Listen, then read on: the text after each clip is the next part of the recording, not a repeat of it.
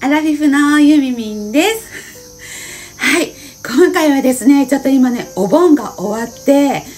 で、海にね、子供たちと行ったんですけども、その、後ろ姿がたくましいだの腕のこの、この肉？これがね、やばいだのね、散々言われまくって、まあ確かに史上初夏ね、こんなにぽっちゃりしてるんですけれども、まあそんなわけで、ちょっとね、私、来年、年明け早々誕生日迎えるんですが、50歳になります。その時までに、メリハリボディ、ここに書いてるんですけど、ちっちゃく。メリハリボディのサイズになるように、軽く、ちょっと、ダイエット、プロジェクトを立ち上げますということで、勝手にね、あの、ダイエットブログをね、ちょっと、あの、やっていこうかなと思っています。特にね、誰に見せるわけでもなく、自分のために、この姿、このぽっちゃりしている姿を、ちょっとね、やばいんですよね、ウエストとかも。博多70超えてて、ウエストが。いつの間にか。なので、ちょっとね、ウエストは、ちなみにね、理想は 65? なので、この、私の身長からね割り出したこの数値に近づくように近づくっていうかそれを超えるようにして目標を立てていこうかなと思っておりますじゃあその数値はまずねあのーご紹介させていただきますと私の身長167センチからのねメリハリボディキープっていうね体重は55.7キロ。二の腕が26今29ぐらいありましたね。バスト88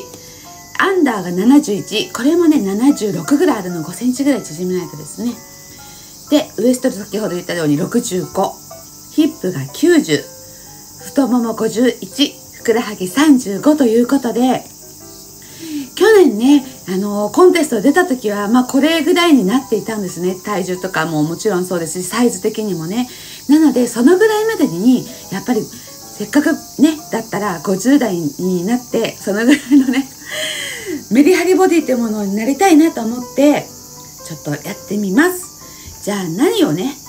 やっていくかっていうと一応ねやっぱり更年期世代のこの私のアラフィフ世代はねいろいろ無理をするとねすぐにリバウンドしたり体調崩すのね今もここほら湿布してるぐらいにすぐにねどこかしら故障してしまうのでまあ無理なくっていうところをね前提に置きます。ただこれだけは絶対にやろうよっていうことだけをね今ね、まあ、5つあげました。まずは水を2リットル以上飲む。1日水を2リットル以上飲む。今日もねあのジム行ってきたんですけどもであの水分取ってきました。であとねジムを週3回は行こうってね。本当は毎日行きたいんですけど毎日行けなかった時にもういいやってならないように最低週3は行こうっていうふうにね決めました。あと1日1食だけ、えープロテインファスティングっていうのをねやってみます。前にあのオプティマムファスティングっていうのをやったんですけど4日 ,4 日間だけあのプロテインのねファスティングをするっていうのをやったんで結構ね私好みだったので苦じゃなかったのでねそれをやっていこうかなと思っています。だから1日1食だけどこかしらでね置き換えをして、まあ、緩やかにね無理なくっていう風にねやっていきます。あと今えっ、ー、と4つ目がねウエスト。ウエストがとりあえずねかなりねやばいことになってるので秘密兵器が我が家に来ました。これなんでしょう。パパが買ってきたんですけどこの上に足を乗っけてくるんくるんくるんくるんってねやるとこうウエストがね